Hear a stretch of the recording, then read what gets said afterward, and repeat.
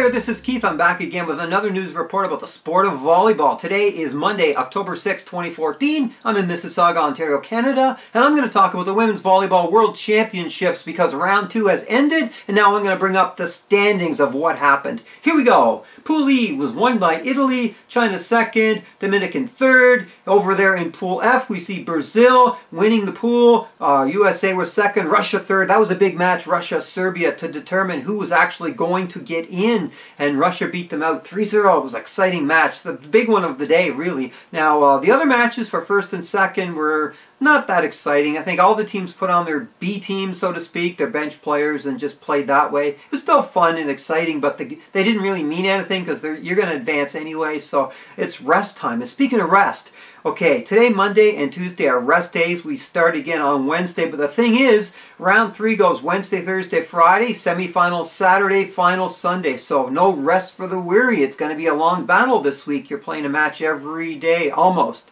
because it's uh, you don't play every day in round three. But anyway, let me bring up round three and what's going to happen here and who's in what pool. Here we go. Okay, here we go. Pool G, Italy came first, so they're going to play United States and Russia. Over there in Pool H, Brazil is first, and they're going to play China and Dominican. As you can tell, there's a first, second, and a third in each pool. That makes it kind of balanced and even. Uh, who's going to win? Well, Brazil looking strong, Italy looking strong, United States is strong, everybody's pretty strong. I don't know, uh, Russia had their ups and downs, but they got the big tall team. Uh, China are playing great volleyball. I don't know, the Dominican is probably the weaker team of the six. Uh, they, they've won a lot of matches, but they won them all like three sets to two, so we'll find out. But anyway, that's why we play these games, to find out. So, oh, let me bring up the schedule. Here's the schedule for the next uh, three days. I mean, Wednesday, Thursday, Friday. You can see the matchups, who's playing when and where and what times and everything. And anyway, no point in talking about that yet because we have two days off. But that's the matchups.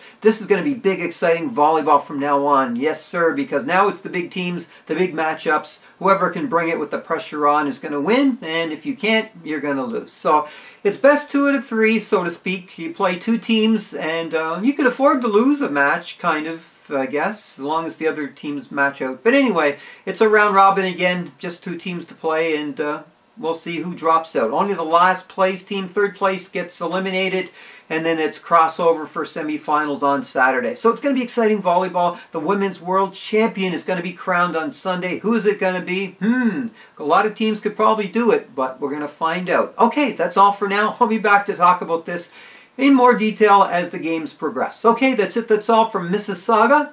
Bye for now. Yeah, bye for now.